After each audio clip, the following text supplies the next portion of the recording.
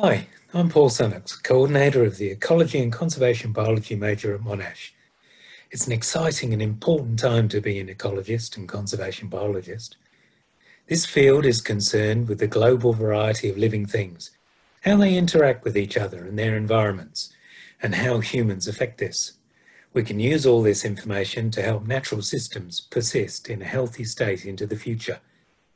In the Ecology and Conservation Biology major, you will work with leading researchers in their fields to understand how species from the frozen tundra to the hot deserts are shifting their biology in response to changing environments.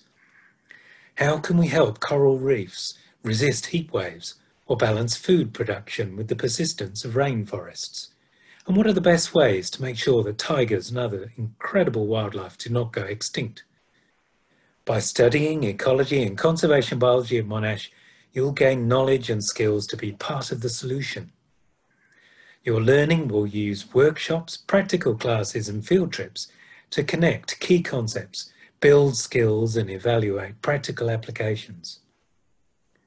The major requires eight different units, two at first year, three at second, and another three in the third, with engaging content by which you will develop the knowledge and skills that employers seek.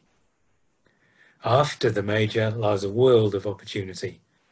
Our graduates have gone on to a great range of fulfilling roles, including Antarctic research, threatened species management, science journalism, education, and much, much more. If you have questions or you'd like to know more, join us online during our open day period.